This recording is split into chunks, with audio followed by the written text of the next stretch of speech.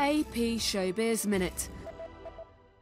Police in Washington state say an actress known for her roles in August Osage County, Frozen River, and Django Unchained is missing. 32 year old Misty Upham hasn't been heard from or seen for the past week. Her father, who filed a missing persons report on Monday, said she has a medical condition that has the family concerned. Penelope Cruz has been named Esquire's sexiest woman alive. Cruz is the 11th woman to be given the title by the magazine. Previous honorees include Angelina Jolie, Halle Berry, Rihanna, Charlize Theron, and Scarlett Johansson.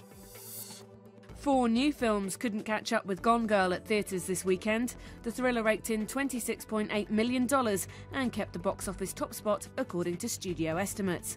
Dracula Untold opened in second place with $23.4 million. This is Hilary Fox with AP Showbiz Minute.